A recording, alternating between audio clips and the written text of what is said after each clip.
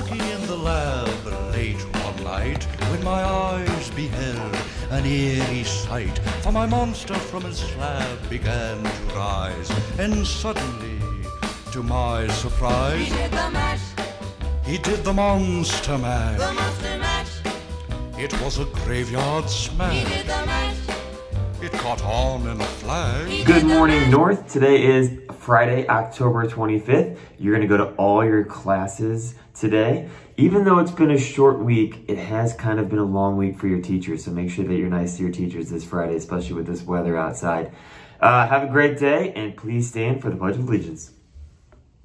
I pledge allegiance to the flag of the United States of America and to the republic for which it stands, one nation, under God, indivisible, with liberty and justice for all. Now on the Chiz, Ari, and Caitlin for birthdays. Today's birthdays are Graham G in sixth grade and Landon S in sixth grade. Lily S in seventh and Andrew S in eighth. Happy birthday! Now on the Chance and Matthew for national days. What's up, North? Today's National Day is National Frankenstein Day.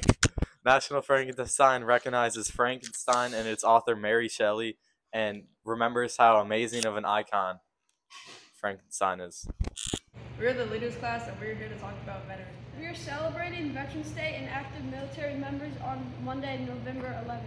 We will have breakfast for veterans and please invite any veteran or active military member to this breakfast. We also honor a veteran or a military member.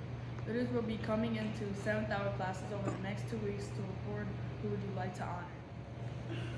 Please know who you would like to mention and the branch of military they were in Or we would also like you to honor someone. You can fill out the QR code and we will be around inter- to interview during 7th hour in the next few weeks. We hope to see you and your veteran at the breakfast. Have a great day, North.